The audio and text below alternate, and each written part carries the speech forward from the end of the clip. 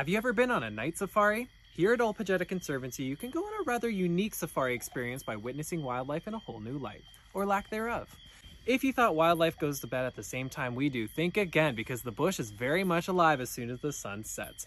By venturing out into the bush at night, you can spot some nocturnal species such as hyenas, porcupines, aardvarks, and even lions on the hunt.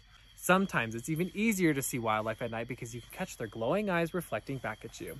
So get your spotlights ready because you need to add this to your safari bucket list. If you want to discover more cool ways to experience wildlife, follow me for more adventures. By venturing out in the bush, Moth went up my sleeve.